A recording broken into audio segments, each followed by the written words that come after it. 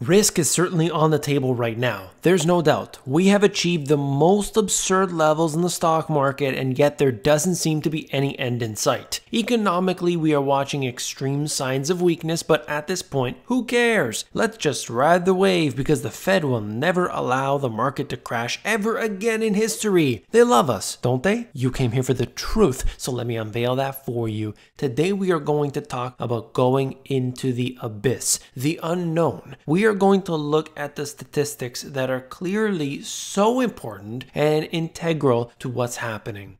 Today I want to look at the S&P and the Federal Reserve's balance sheet remaining completely correlated. This is something that I cover as often as I possibly can. I have two charts to show you that go in line with that. The fear and greed index is near a historical high. This shouldn't surprise anybody right now. Inflation is apparent, but not where the Fed is looking. And I'm going to show you one stat that is absolutely incredible, something that I've talked about before, but now I have some numbers behind that. And fund managers go 100% all in risk on mentality due to the Fed's QE4, not due to the fundamentals, not due to earnings, not due to what they believe is coming. Instead, it is due to the Federal Reserve and their actions. Former Federal Reserve Chairman Alan Greenspan warned on Tuesday that inflation is going to pose a larger threat to the US economy as budget deficits continue to rise. Right now, there's no real inflation at play, but if we go further than we are currently, inflation is inevitably going to rise. This is important because he knows exactly what he's talking about. Obviously, he's an insider, we know his past, but this is important because it can't be avoided. What the Federal Reserve is trying to do, what central banks banks are trying to do is permanently tinker with the inside, with the machine. And this, the more they do it, creates more dislocations and more distortions, and the worse things become. Individuals today are struggling more now than ever. Sometimes it's because of their own personal issues, other times it's unfortunate circumstances, but ultimately we have a large number of people, for example, that are on food stamps 40 million people. Look at the amount of individuals that receive welfare every month. Look how many people sleep on the streets. Look at all of the individuals that don't end up on any of these statistics, but they can't make ends meet. There is an extreme level today of people who simply aren't getting any of the benefits of that quantitative easing, and yet they still push forward with this. They create the problems in the first place, and while Alan Greenspan is not necessarily going to mention that, at least we know where the direction is going. To me, this is the most important chart you're ever going to see. I talk about it often. You can see the global liquidity proxy, and essentially what we're looking at is the money supply. Whether we are looking directly at the central banks and their balance sheets, or maybe you're just going to look at the money supply in general, either one has been expanding to such a great degree. Look at the complete correlation. I mean, you do have some disparities at certain instances, but eventually they find their way back to normal, let's say. And of course, right now we are watching the S&P 500, the stock markets in general go higher along with the money supply. The central bank balance sheets have been expanding at a rate we have never seen before, and I assure you, we have only just gotten started. The ECB is deciding that 20 billion is going to be the number that they're going with, but that 20 billion will of course have to expand because they were doing a lot more than than that previously, but they want to start at 20 billion, then they'll go higher from there. The Federal Reserve is going to have to go over 100 billion, I believe, anyway, because what they're talking about with their 60 billion, that's also too small. Now, when you add up all of the operations, they're actually doing that more on, on a given month, but the actual expansion of their balance sheet will have to go far beyond this. Then we have the BOJ, who is, you know, consistently been doing this for decades, but they're going to have to go far beyond where they are as well, and the list goes on. You know all of these activities activities, even if you haven't been paying attention to the Money GPS,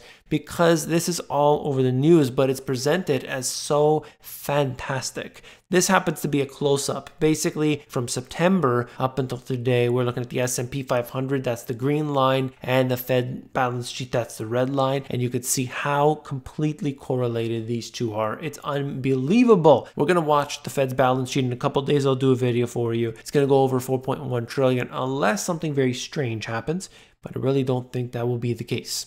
This is the S&P 500, the green line compared with the earnings. Now earnings are not looking good. Earnings are not in fact where they want them to be, but it doesn't matter because the stock market will go higher anyway. To me, this is worrisome. When you see what has happened with earnings, you get a very different picture from what we see with the actual market itself. There are so many different statistics around earnings, but I'm just generalizing this here.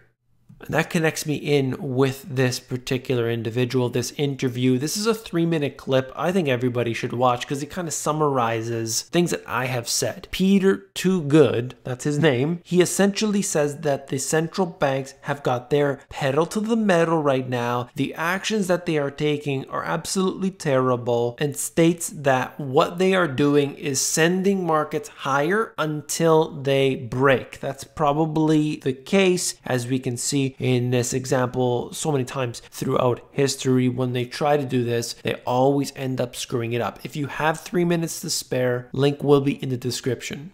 This is the fear and greed index. You can see that this is a very volatile index. It moves up and down very rapidly. It's not the VIX index, of course. This is something else altogether. But of course, we do see from time to time where certain indexes move together and they correlate. This one here, though, just showing you that we are now in the extreme greed territory, 85 out of 100. I think it's actually a lot higher than that. But anyway, that's what it's showing here. Just wanted to give you an update update on this. It's something to look at, something to consider. Not necessarily this particular index, but there are several that just show us, just give us an update, some insight as to what the market is feeling right now at this time.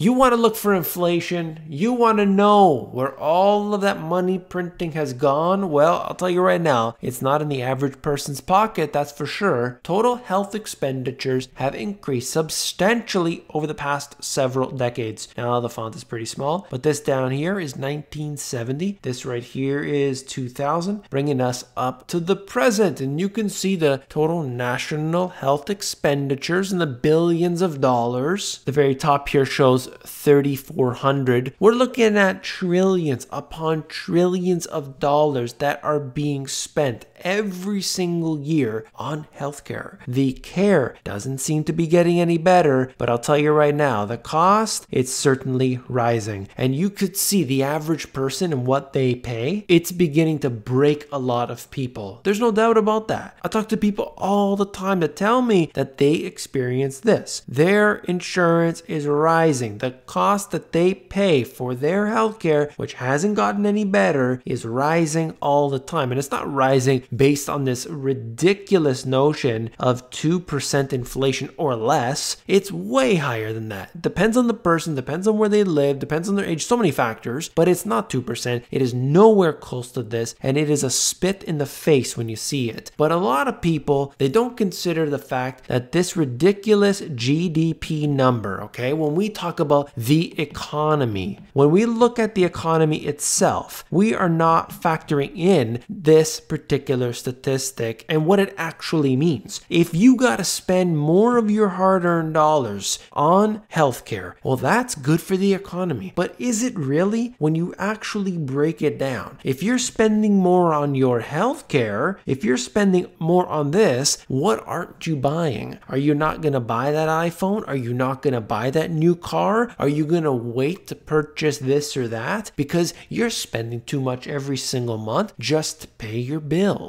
That's what I'm talking about. When I say that the economy is suffering and you look at the GDP statistic and it shows you whatever that might be, let's say 2% or 3% or whatever kind of joke they tell us this month, they are actually spending more on the things that they need. Maybe that's their electricity, maybe that's their food, maybe that's their healthcare, whatever it is, the expenditure is not necessarily just things that are going into the economy to make it move. It isn't that way, but people don't get that. And it's just so frustrating to see see this reported in the media and to see people actually in the financial industry spitting out this garbage. This chart just shows you the disconnect in between the Dow Industrials and the industrial production. Isn't it so funny that these two have clearly been separating from each other for quite a while? This really started happening, let's say 2015 or so, and has been continuing ever since. This is what happens when you push all of the money into fewer and fewer things. The real economy isn't there, the stock market, the paper assets, they are simply benefiting. Really quickly, I want to run through the Bank of America Global Fund Manager Survey. A couple of things wanted to bring to you. Investors price out recession risk. Right now, you can see that we went from a very bearish point of view to a very bullish point of view. Everybody is risk on right now. There's going to be some charts that correlate with this. How do you think the global real economy will develop over the next 12 months? This has turned around considerably since the end of 2018 up until the present. This is the net percentage expecting a stronger economy, and that doesn't surprise me. Usually, you don't even see people in the financial industry at all ever talk badly about what's going on, no matter how bad it is. But now it's getting back to reality for them. Inflation expectations have risen, and they want that. They definitely do because this is what the Federal Reserve has suggested that they want to do. They want to create more inflation. So that immediately sends the signal to all these fund managers and so on who just simply believe it and parrot that and go with it. You'll hear it in the boardrooms, you'll hear it on the trading floors, and no matter how many cycles we go through, it's always the same global corporate balance sheets, you could see what's going on right now. This is the net percentage say that companies are over leveraged. Can you believe this has actually declined somewhat? And I'm not sure how they're factoring this in. Maybe they're looking at the fact that the stocks have actually gone up and somehow they're weighting in that in. But regardless, it's still near an all-time record high. What would you most like to see companies do with their cash flow? So we're comparing three things. Return cash to shareholders, that's the blue line. Increasing capital spending, that's green. Improve the balance sheets, that's orange. Apparently returning cash to shareholders since this bull market has began has been a priority for less and less people. We've watched the prices go higher and higher and higher, and I'm assuming that they seem to be satisfied with that. Now that everything seems to be fine and everyone's doing so well, increasing capital spending happens to be something that they are really desiring. Meanwhile, all they're doing is share buybacks anyway, but that's the kind of world we live in. That's all for this video. If you found it informative, hit that thumbs up button. When you hit the thumbs up button, you are supporting me, so definitely give that a click. If you want to learn how to make money online, I have a course that I created for free for you as my subscriber. Teaches you how to sell on Amazon. It's at the amazongps.com. If you want to understand the financial system and get that financial education that you never did throughout your entire school term, all those years, they never taught anybody about money, where it comes from, how it works, everything from A to Z in these two short books. Check them out at the link in the description. If you want the audiobook, themoneygps.com. Whoa, whoa, whoa, hold on, don't go anywhere. Have you seen this video? If not, definitely watch it. Just click on that and I will see you there.